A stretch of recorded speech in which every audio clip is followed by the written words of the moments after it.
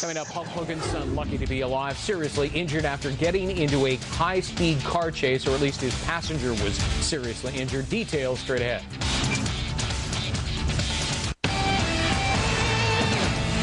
Back. Police investigating a horrific car accident, Clearwater, Florida, involving pro wrestler Hulk Hogan's son, 17 year old Nick Hogan, released from the hospital today after the car he was driving hit a raised median, flipped around, smashed into a palm tree. Police say Hogan was driving at a high rate of speed before the crash, and both he and a passenger had to be airlifted to a nearby hospital. The passenger remains in critical condition.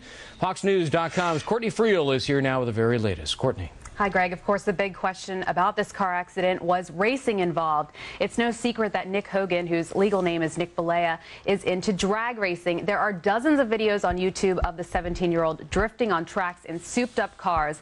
But Florida police say it's too early right now to tell what led to last night's accident, except that it was a spectacular wreck involving excessive speed. Witnesses told a Tampa TV station they saw the yellow Toyota Supra racing a silver Dodge Viper right before the crash at around 7.30 p.m. It happened on State Route 60, the main drag through downtown Clearwater. The road had to be shut down in both directions for several hours. The Supra was completely destroyed, as you can see there. Both Bollea and his passenger, 22-year-old John Graziano, had to be extricated from the car by paramedics. They were then airlifted to a nearby hospital where Graziano remains in critical condition. Now, Bollea appears on the reality TV show Hogan's, Hogan Knows Best with his father, pro wrestler Hulk Hogan, his mother Linda, and his sister Brooke. Cameras caught Hulk checking out the scene of the accident, and Linda has just released this statement saying Nick is currently at the hospital with John and his family. His sole concern is for the well-being of his friend. On behalf of my family, we ask that your thoughts and prayers be with John and his loved ones.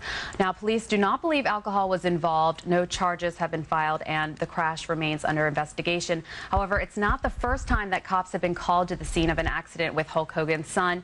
It was reported last September that Nick was driving a Lamborghini in Florida when it burst into flames, but fire personnel described it as a normal car fire. Mm. John Graziano, the, the passenger, how badly injured is he? Well, his grandmother has just spoken out to the Tampa Tribune, and she says that it's not looking good, and they think that he might have brain damage because he's pretty uh, incoherent right now.